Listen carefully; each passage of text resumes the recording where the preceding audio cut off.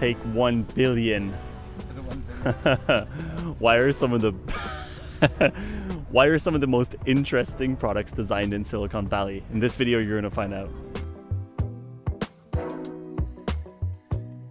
What you're about to see is an excerpt from the Product Breakfast Club podcast where we talk about the difference between Silicon Valley and the rest of the world when it comes to designing products. Hope you enjoy it, and if you like these kind of conversations, definitely check out the Product Breakfast Club podcast. Love from San Francisco.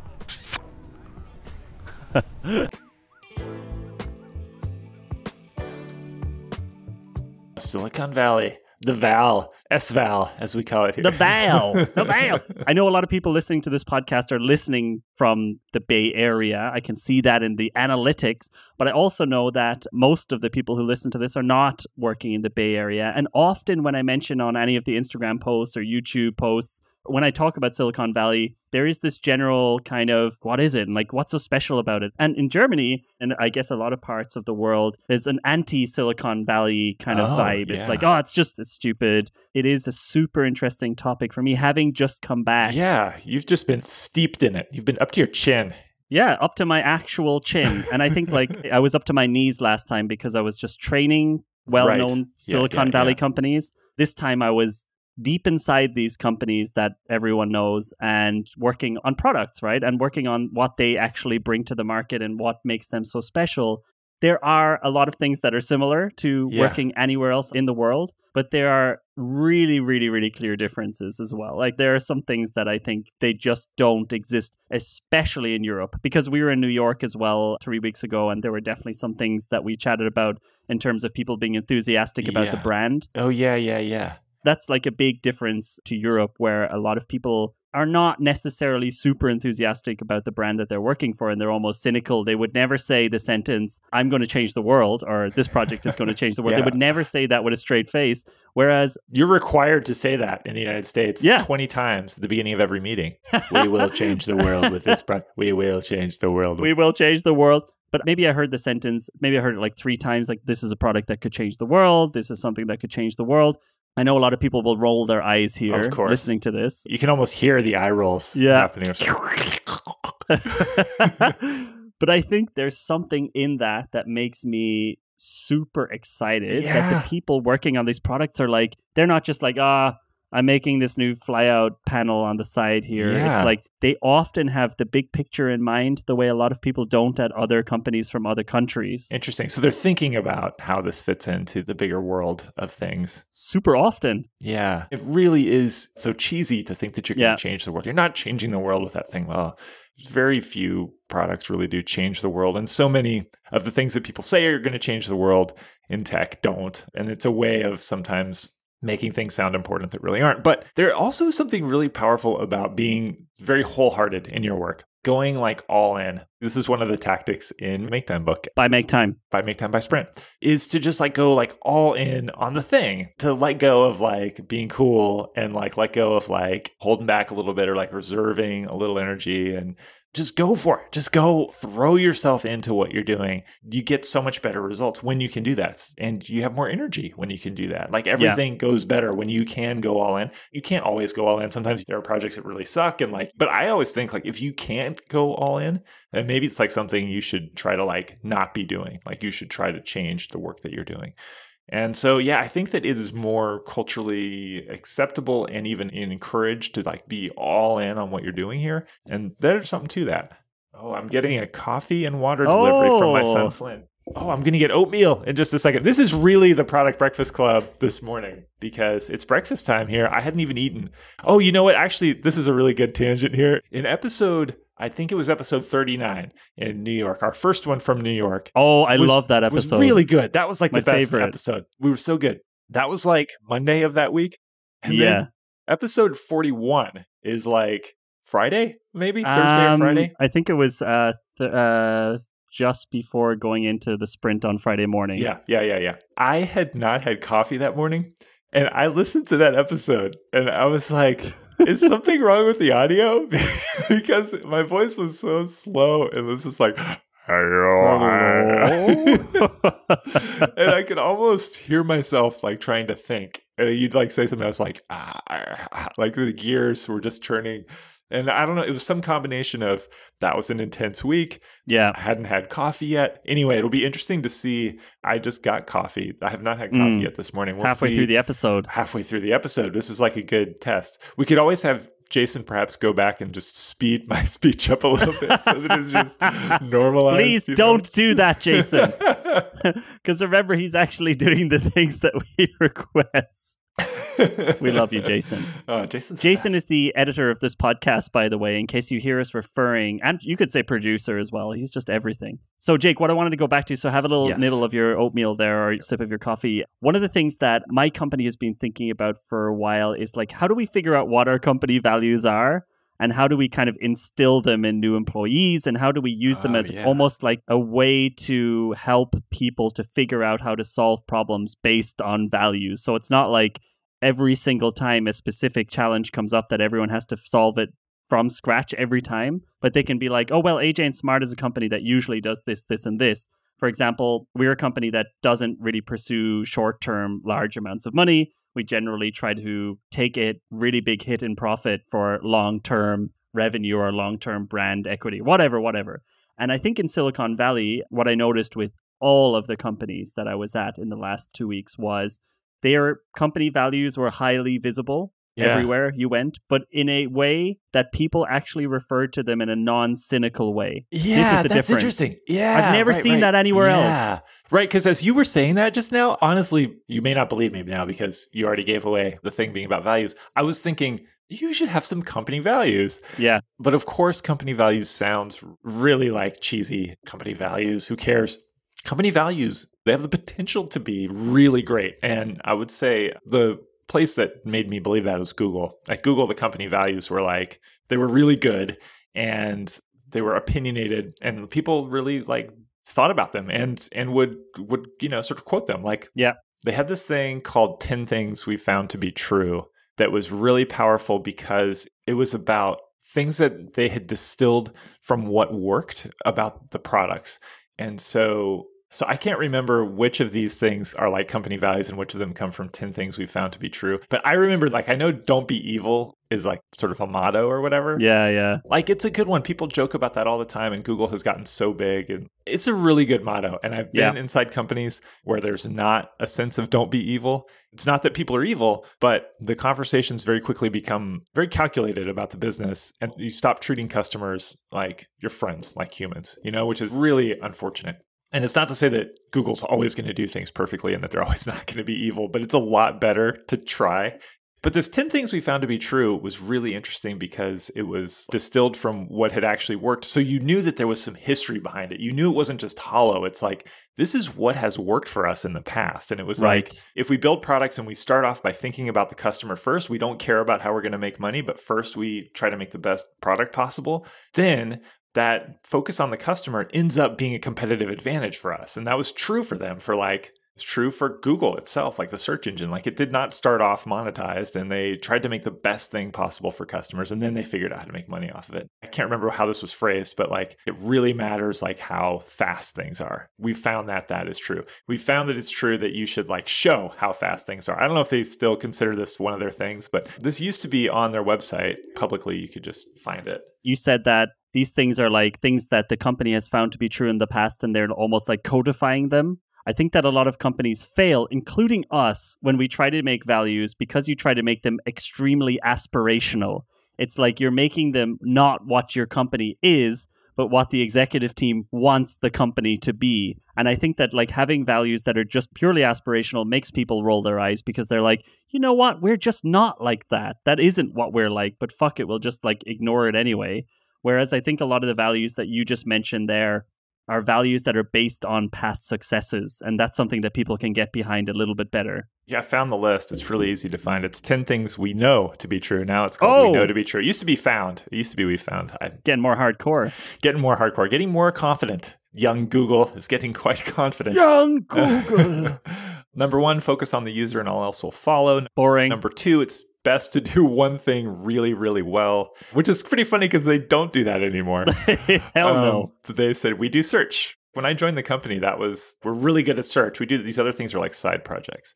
Three, fast is better than slow. Four, democracy on the web works. Five, you don't need to be at your desk to need an answer. So this was just like talking about like mm. we think mobile is important. This is interesting because it's still on their website. I would guess that this is like 15 plus years old.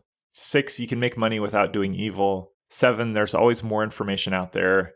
Eight, the need for information crosses all borders. Nine, you can be serious without a suit. And 10, great just isn't good enough. Some of them may be less impactful than others. I focus on the user and also follow was like hugely sticky. People talked about it, believed that. It's best to do one thing really, really well was also that's a really strong one. Fast is better than slow there's so many times when you make a decision in anything that you do whether it's a company or whatever but you make a decision when you're trying to market something when you're trying to like promote something where you have to consciously make the decision to be honest and fair and i think making the right decision in those cases is actually like important for the long-term health of the business. You can whether it's moral or not, it's actually like the best thing for the business. But the expedient thing to do in the moment is often not to be honest, not yeah. to be 100% forthcoming, 100% yeah. clear. Like if you've worked with a client and you're like, okay, so should we exaggerate what our relationship was with this client? Like, should right. we exaggerate what the results were? Like the expedient thing in the moment may be to exaggerate it. But in the long term, like if the client finds out, like, oh, we exaggerated what we did, like, and, and even just the fact that we allow that non-truth to kind of be out there that also like could start to pervade other things that we do and totally. like, our sort of reputation like becomes sullied by that. You know that stuff it does totally matter. Anyway getting a little fired up here and i've only even had one tiny sip of my coffee.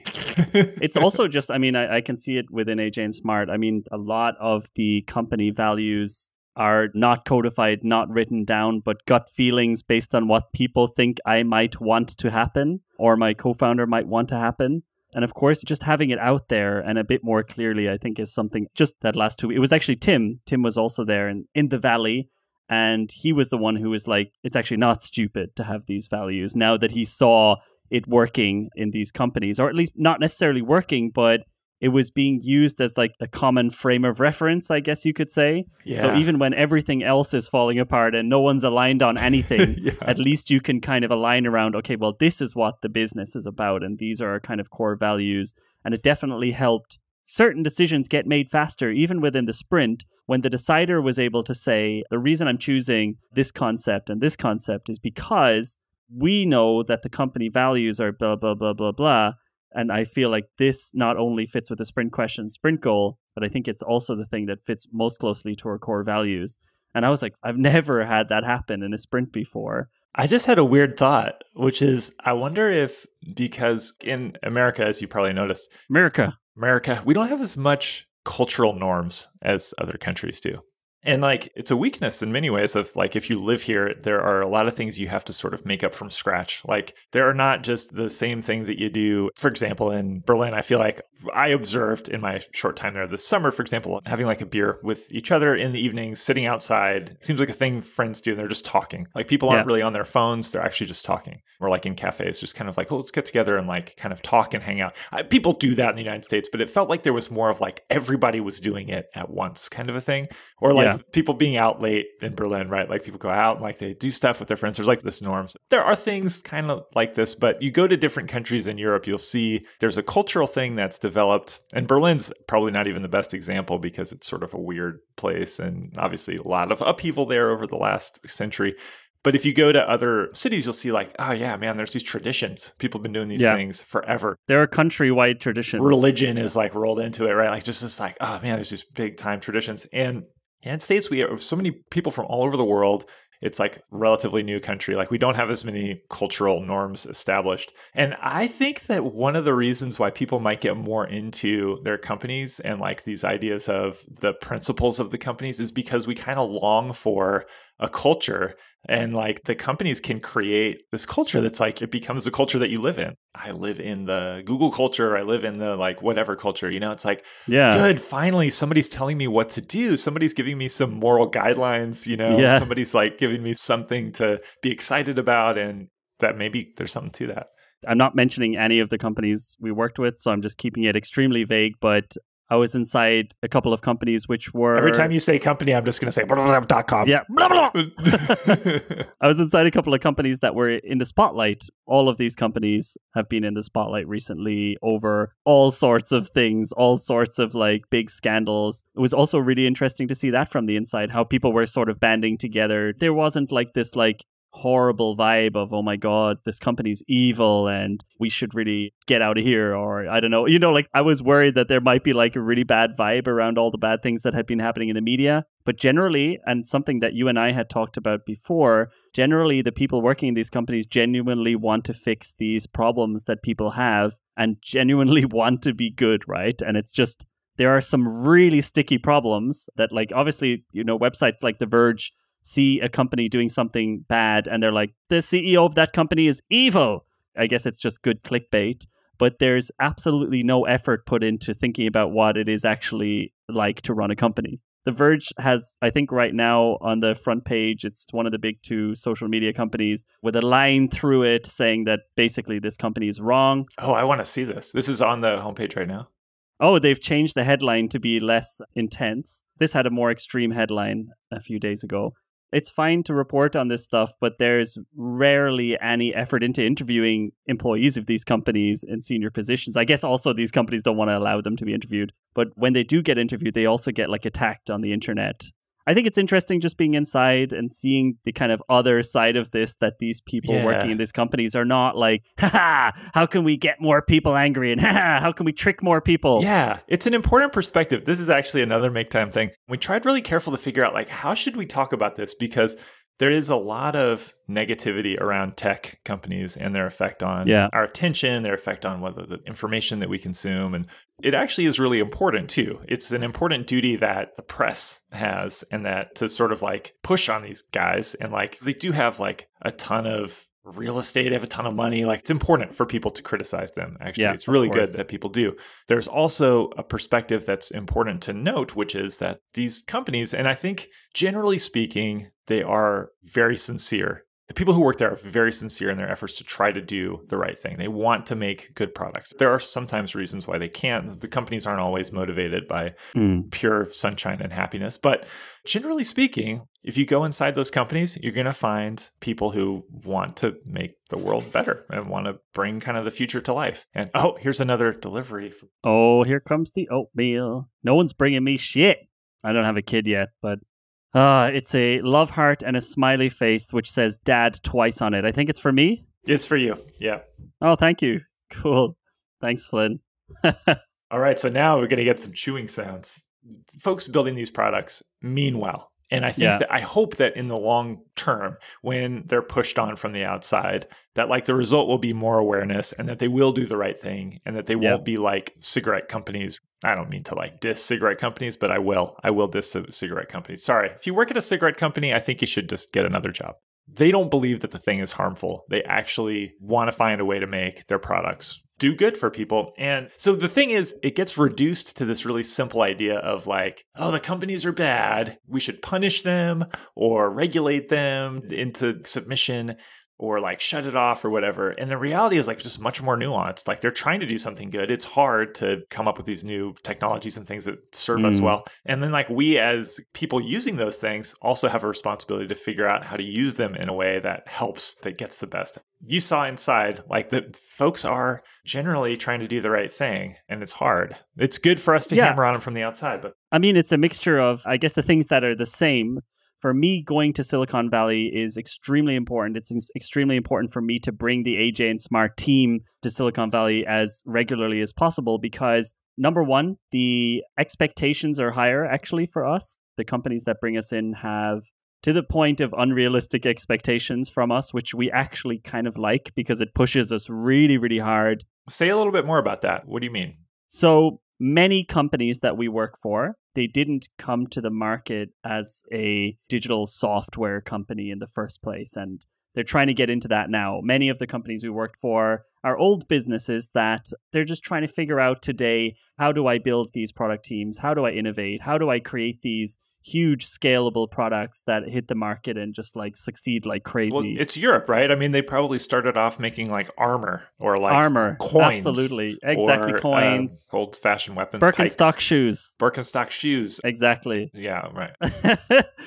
what they're looking for from us is obviously to help them figure out their product vision, their product strategy, and also then potentially design their product, help them figure out how to bring it to the market we are obviously like very well suited to do that. And it's also not just European companies, that's also basically any company, even the ones we worked with in New York. I would consider those to be a company that they're in a state of transition at the moment. Right. right. That's like the most common type of company we work with. In Silicon Valley, they're not in a state of transition. They started in this like digital world the majority of people who have worked there right now are digital natives who are, I would almost say, like product natives. They understand everything about products. There's nothing you can really say to in any way get a reaction someone being like oh you know about growth and blah blah blah like they give a shit they know all that stuff already they're also like it's a highly highly highly competitive market there in the bay area it's bubbling up like very intensely motivated people who work a lot and work a lot on their education. And it, it's like a combination of that makes them have extremely high expectations of an external company coming in to help them. What the fuck are we doing going into these companies? You know, like this external company from Berlin. Silicon Valley doesn't really care about Europe, right? It's not like a super interesting maybe just if you want to go and like not really work anymore but in terms of like level of innovation all of this kind of stuff i think silicon valley would see europe as like a second class citizen and so for us going over there it really really first of all we all get really nervous. Like everyone in aj and smart's like oh god. Like they're after booking us. We have to do it. And it, it, just like it makes us look at a lot of our systems. It makes us look at the skill sets we have it also gives us huge confidence and excitement boosts when we manage to deliver something that excites them right? I'm always shocked when these clients are like oh my god i can't believe you guys did that and then they rebook us. So going over there for us as a european company and i would honestly recommend this for anybody not having visited the bay area before. It's completely contagious enthusiasm for the product like product as a topic. Everyone knows everything about products there. You just meet a random person on the street and they'll talk about monthly active users or something, right? You'll be like, "Stop talking to me." And they're like, "Monthly active users, monthly active MAUs, motherfucker." It's an extremely mature product environment. That's it. That's the difference. And I think there's not so many places in the world where also like the types of companies which you don't find anywhere else, right? Here and even in New York, even in Austin, like places like that, you will find startups who have that level of product maturity, but they also don't have billions and billions and billions and billions and billions of market capital. So they also don't have the same size of problems that these Silicon Valley companies have. So these Silicon Valley companies have giant market capitalization and high level of product maturity it's just very different. It's very intense and super fun. I feel like I learn a lot every time, and I feel like I'm challenged a lot every time I'm there. And it's the same feeling for the team. They all come back like wrecked and totally drained, but like excited about being in this industry.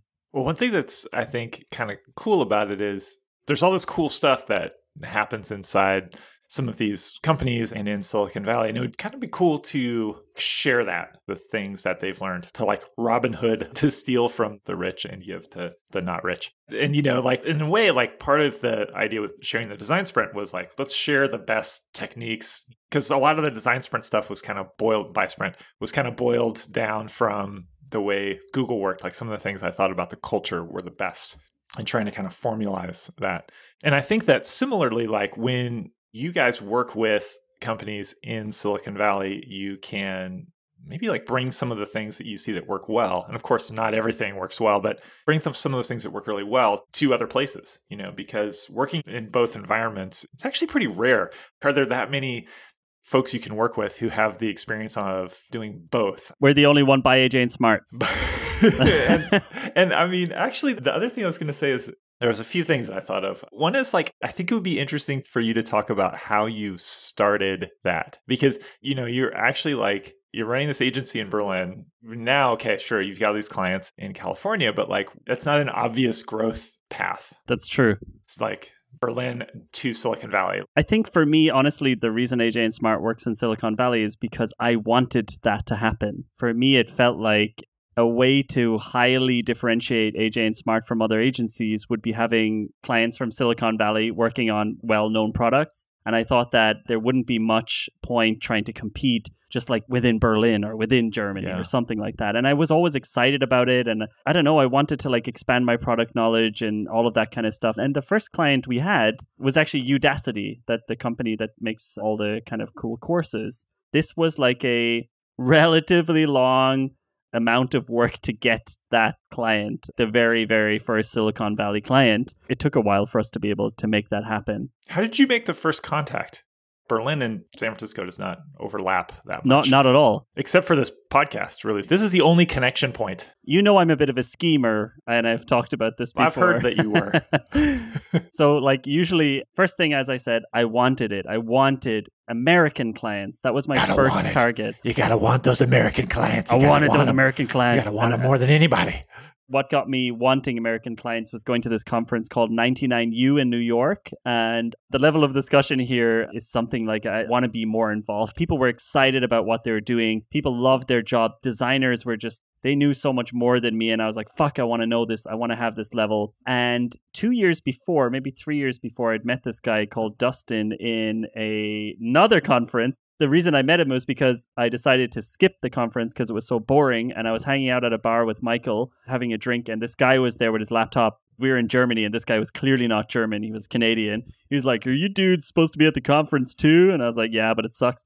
And so we chatted with this guy for a while, and he was like traveling around the world. And his dream was to move to Silicon Valley. And I was like, fuck, you know, that would be really amazing. So he visited me a couple of times on his digital nomad world trip. And I was just always like really nice and friendly and, you know, always a very accommodating, h- hanging out with him and stuff. Wow, that must have been hard for you. I know, man. I and I was always like, you know, letting him use our workspace as well at AJ and Smart. Because I was like, also, we don't have so many connections to the Western hemisphere or whatever it's called. Finally, I saw that he got a job at this company called Udacity. I contacted him because I saw that Udacity was based in the Bay Area. And I was like, is there like anything in there that you could see that a company like us could do? And it took approximately one and a half years of on and off conversations with him and with his superiors and with other people in the company, doing one or two free things as well, just to kind of prove that a company from Berlin is worth bothering to even Yeah, talk yeah. to. Actually, the reason I was coming to San Francisco, if you remember, was because I was coming to speak at this Udacity conference. And that was then the first time I actually went to Silicon Valley. Yeah, yeah, yeah. And that was the door opener. That was like the beginning of it was working with them. Then we did a sprint with them maybe three months later. so this is interesting because that was you came to do that talk and that conference. It's like early 2017, right? Yeah, February 2017. We're in 2018. This is not like a decade ago. No, not long ago. like a year and a half ago. So it's a really long burn to thinking about that idea and then getting your foot in the door, so to speak. I spend so long on these things, man. As soon as I got really into the design sprint, When's the 99U conference? about six years ago, I think. Six years ago. Okay. Slow burn to that Udacity connection. But then since then, Yeah. And then obviously, like, I'm very aware that, like, I never think about, okay, we're doing this project now. Obviously, we have to do a good job. But my goal here is to make sure that I'm really making good connections with these people and they see that I'm a person who's reliable and can make them more successful. So I made really good connections and good friends with a lot of people working at Udacity. And because of those connections, I now have one of the big clients, which I think would have been basically impossible to get to without that connection because we're too far away. It's just like it's that we're just too far away. And the other big Silicon Valley company that we're working with is because of you as well. So Yes. the second door opening was meeting you. It wasn't like a side thing. Oh, I'll meet Jake when I'm over in uh, San Francisco. There was like a big initiative within AJ and Smart to figure out how to get GV and you to somehow somehow be connected with AJ and Smart. But we didn't know. We just knew like for us GV was the only company we thought was doing design well because we were really like specific and blunt about the way we work and we were like, okay, if we want to model ourselves off anybody, it's like GV, the way they talk about themselves and the kind of process stuff. And so GV was definitely like the only company we had when we were like benchmarking and thinking about where we wanted to go, even though we didn't even bother thinking about any of the investment stuff, which is the main part of it. GV without the money. yeah, GV with no money. That's AJ and Smart, okay? And also no investing and none of that other stuff. And since then, obviously, you know, we've been doing a lot of work together. You have connected me with loads of companies. My connections at Udacity have connected me with loads of companies. And then those companies spread. And also, super important, people forget that people leave companies all the time, right? So don't be a piece of that's just so important. Like, yeah. no, that's a big deal. I mean, that is a big, big deal. Hey, everybody. Welcome back to this podcast. Listen, one thing that I need to give you some context on is that I've been sitting in this room. Now it's a different, we're doing, the outro is in a different location. We're crazy here at AJ and Smart. It's so hot in this room that I've gone completely insane. So I can't even, I can't even do the simple sentences that I'm supposed to be doing. But look, if you liked this snippet from the podcast, I guess this is what it is. Um, make sure you just check out the real podcast. It's actually called Jake and Jonathan now. It used to be called the Product Breakfast Club. Um, if you want, like, kind of, it's every Monday podcast, kind of that kind of stuff. And I actually can't think. So here's the thing, right? We have so much we have so much content coming out all over the place. It's even hard to keep up. Subscribe to this channel for videos every Tuesday. Subscribe to the podcast Jake and Jonathan for episodes every Monday. Check out our Instagram at AJ Smart Design Monday to Friday. Videos of behind the scenes of this agency and just believe in yourself. That's all I ask. I thought that would go more towards the camera. Bye bye everybody.